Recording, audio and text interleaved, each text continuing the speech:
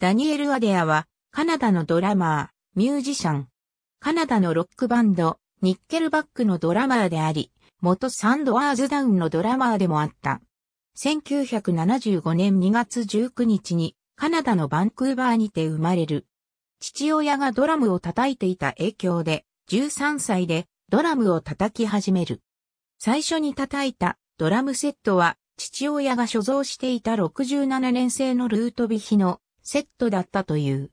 最初に影響を受けたドラマーは、ジョン・ボーナム、ニール・パート、ティム・アレキサンダー、ラーズール・リヒト高校の頃ドラムをあまり叩かない時期があったが、楽器屋で働き始めてからその環境に触発されて、本格的にドラムを再開。デニス・チェンバース、ビニー・カリュータ、デーブ・ウェックル、バージル・ドナティといったドラマーに傾倒し、ベースを弾いたり、ドラムレッスンを受けたりし始め、地元のバンドでセッションドラマーとしてたくさん演奏するようになる。この頃にギタリストのデビッド・マートンと出会い、彼のバンドに参加。ダニエル曰く、デビッドは今まで一緒に仕事をしたギタリストの中で最もすごい、とのことで音楽的に成長することができたという。3枚のアルバムをレコーディングし、ニッケルバックに参加してからも2枚のアルバムに参加している。この頃からバックコーラスとして歌い始めるスキルを習得。また、週に15人もの生徒にドラムレッスンを教えるようにもなる。2002年に最初の転機が訪れる。アメリカのロックバンド、サンドワーズダウンに呼ばれ加入し、2004年までレコーディングとツアーに参加する。1枚のアルバムをレコーディングし、1枚のライブアルバム、1枚のライブ DVD にも登場。脱退後に発売されたアルバム、セブンティーンデイズは、ビルボードチャート最高位1を獲得する。2005年1月に再び転機が訪れる。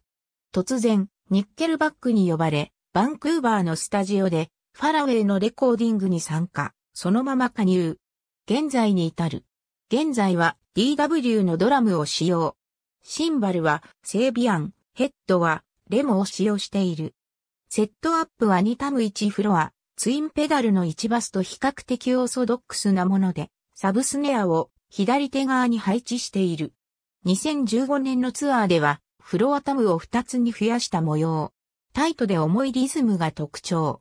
ニッケルバックでは、コーラス面でも貢献。既婚。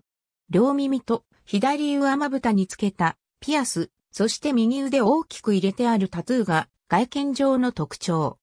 他にも Theory of a Deadman、 Bo Bice、 Faber Drive、デビッド・アンソニープロジェクト、 Jet Black Stare、ソーニー、ボン・ヘイロー、シェリー・ストリート、ジャーメイン、アーロン・プリチェットなどの作品でもレコーディングに参加している。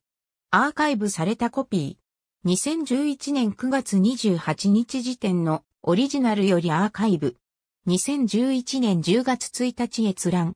アーカイブされたコピー。2011年9月28日時点のオリジナルよりアーカイブ。2011年10月1日閲覧。アーカイブされたコピー。2011年9月28日時点のオリジナルよりアーカイブ。